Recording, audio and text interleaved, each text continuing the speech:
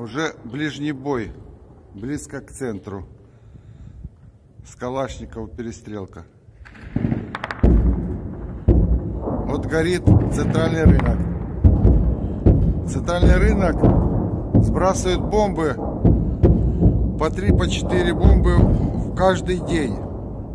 Начиная с 26 февраля. Сегодня уже 16.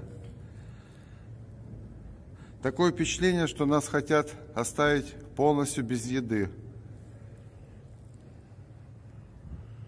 Там в контейнерах много продуктов.